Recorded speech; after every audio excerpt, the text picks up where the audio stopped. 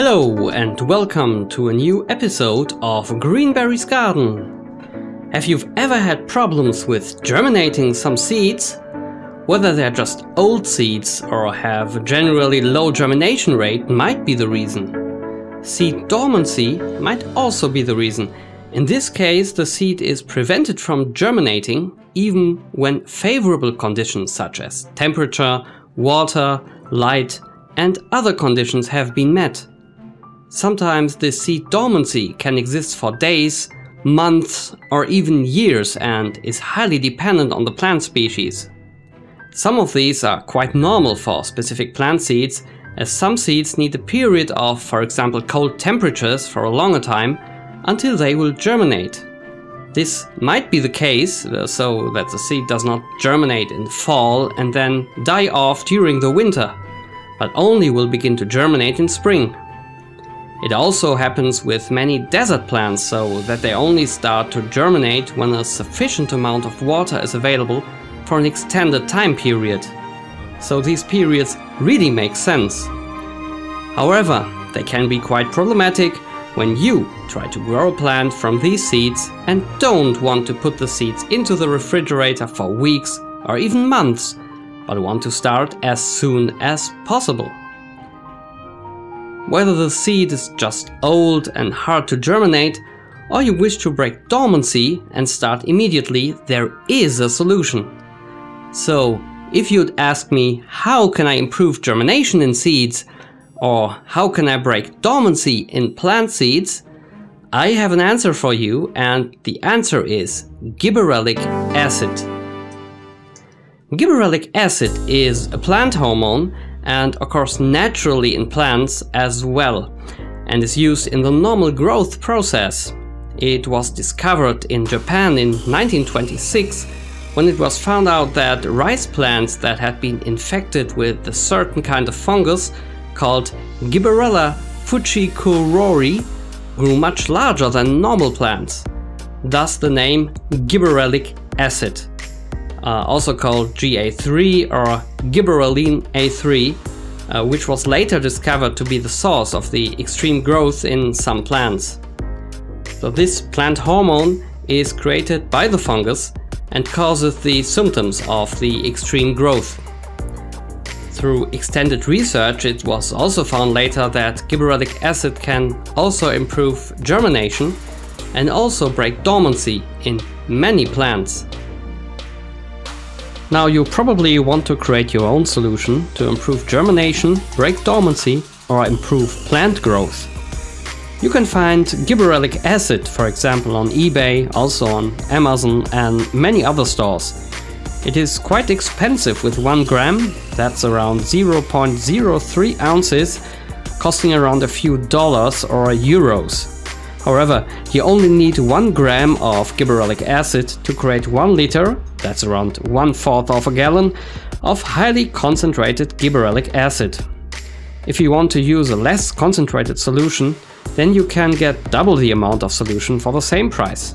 It always depends on what you want to use it for. So now let me show you how to create a gibberellic acid solution. You can find different information on how to store a solution and how long it will last until it has broken down.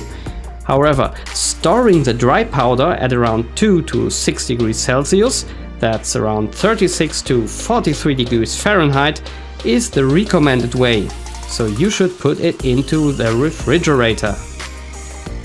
The final solution you have created should be stored in a dark place and the seller I ordered it from advised me to freeze the prepared solution so that it does not break down. However, other people have stored the solution in the dark for months at normal room temperature without any problems. However, I'm going to store it in the freezer. To allow for easier usage whenever I need some gibberellic acid, I will be using some ice cube trays. Also, make sure to label it for safety reasons so that nobody is going to use them as normal ice cubes. Gibberellic acid is not poisonous, but still not safe to drink, so be careful. And please always wear glasses and gloves, because safety is the number one priority. To distinguish the gibberellic acid solution from normal water, I will be adding blue and yellow food coloring to create a greenish solution. So now let's begin. To create a 1000 ppm, that's 1000 parts per million solution, which is optimal for increasing the germination rate of many seeds, use 1 liter, that's a fourth of a gallon, of distilled water. You can later dilute it easily to create a 500 ppm solution by using half of the created solution and another half of distilled water, and so on. We are using distilled water here because the chlorine in tap water breaks down the gibberellic acid solution. Before we add the gibberellic acid powder, we have to dissolve it in alcohol, which can either be ethanol or isopropanol, also known as rubbing alcohol, which uh, I am using.